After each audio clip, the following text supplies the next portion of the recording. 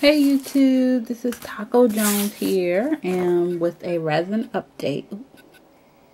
And um, I wanted to show some of my pieces have been glazed and some of them have not. So here we go. Alright, I did some puzzle pieces. Did some um, glitter shapes and some chunky glitter. Did this one. And I really like this mold because they come out shiny. And I did this one.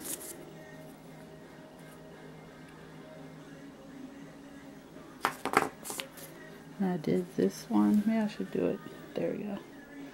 This has the glow-in-the-dark glitter in it. I did this one.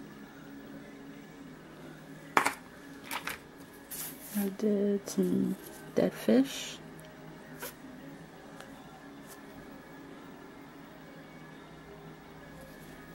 And this mold you have to be careful with because they, um, to me, they it's hard to get out if they're not all the way cured. So, and then I heard that you can put Vaseline in them. So that's what I'm to do from now on. So this has some glitter in it. And I dripped some resin in the little X. So this one has been coated with um, um, with resin. So that's why it's shiny. So I did a white one.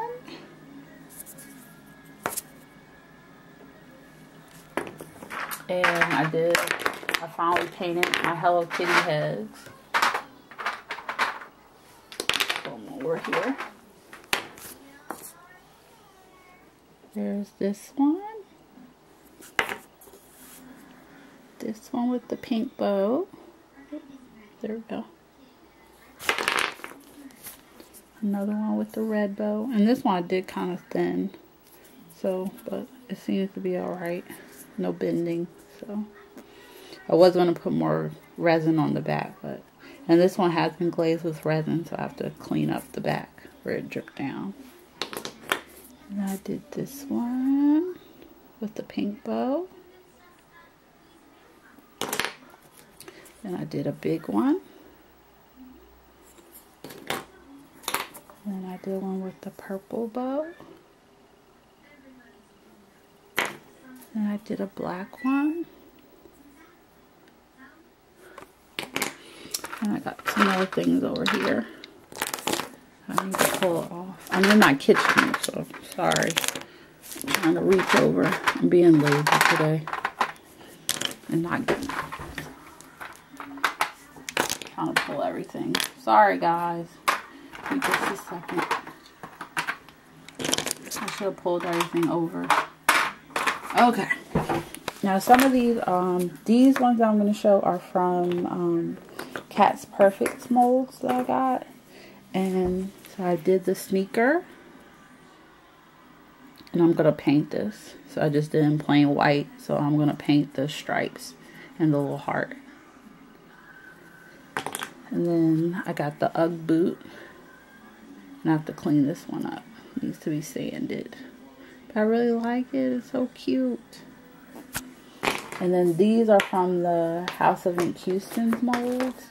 Um, I got the brass knuckles. And I put the glow-in-the-dark glitter in this and some other various glitters with the black um, uh, alcohol, I'm sorry, not alcohol inks, the acrylic inks from Daler Rowney. I got them from dickblick.com. And this is from Megan Beads mold, the tie and I did some um what is this? Lightning bolts. So I got those. Really nice. And this is from the House of Ink Houston's molds. I got the pan um not the panda what is this? The paw prints sorry. And I'm gonna paint the little in little things I made two of those just in plain white. And I got the Moustache moustache or mustache.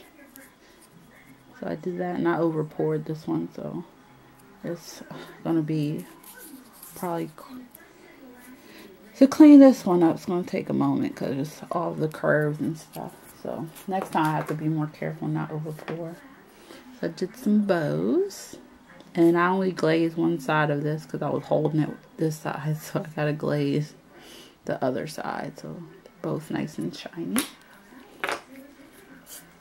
Here's another bow. And I did this dead fish. Another one and I mixed I was trying to put pink and black but the black overtook the pink so this is what it came out with and then I did a pink one with glitter and I uh, did a little brass knuckles and they're hard no bending little tiny ones they're still cute and this is the crossbones. I think I've showed this before, but I finally glazed it with some resin.